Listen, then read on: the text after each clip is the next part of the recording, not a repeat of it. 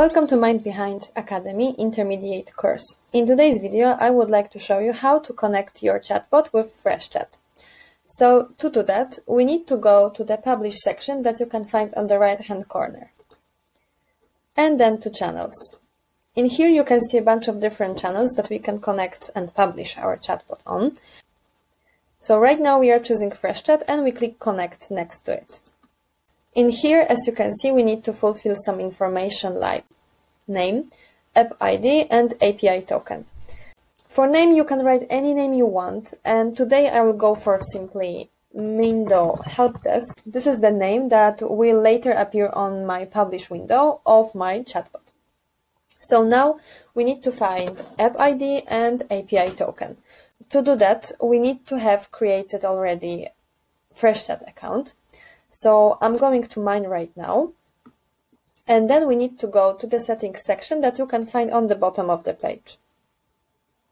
The second information I need is app ID, which I need to receive from FreshChat settings window. So I'm going to account settings. In here you can see some tabs, but I'm going for integration settings. Right now you can see app ID, so I can simply copy it and paste it into the gap of app ID. What's left is API token. To find API token, I need to come back to our FreshChat account and again go back to settings.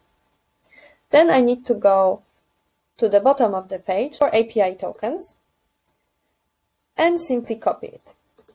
If it's not generated yet, you need to simply click on generate token. And then again, going to Mind Behind platform and I paste API token. Before I go to agent and channel, I need to come back to my FreshChat account and go to the settings again. I need to go into webhooks section and enable webhooks. You can easily find the link from our team and then simply paste it in here. Then we need to save it.